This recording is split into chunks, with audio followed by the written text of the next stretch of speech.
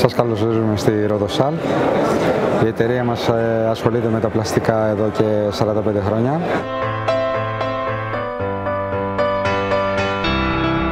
Είμαστε πρωτοπόροι στο χώρο από το ξεκίνημα της εταιρείας και προσπαθούμε συνεχόμενα να βγάζουμε καινούργια αντικείμενα, να εξελίσσουμε τα υπάρχοντα και να ανοίγουμε νέες αγορές που δεν υπάρχουν ε, στην Ελλάδα προς το παρόν. Τα προϊόντα μας ασχολούνται με τον αγροτικό τομέα κυρίως, όσον αφορά τα γεωργικά, ελιές, αποθήκευση τροφίμων, λάδια, κρασιά. Με παιδικές χαρές, αν έχετε δει σε όλες τις πόλεις που έχουν τοποθετηθεί καινούργιες παιδικές χαρές πλαστικές και άλλα εξειδικευμένα αντικείμενα με τη βιομηχανία.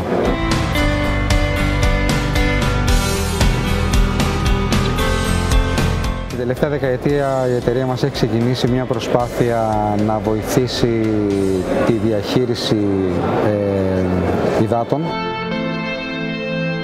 Έχουμε κάνει ένα σύστημα το οποίο έχει πατενταριστεί πανευρωπαϊκά αρχικά ε, όσον, όσον αφορά τη διάταξή του.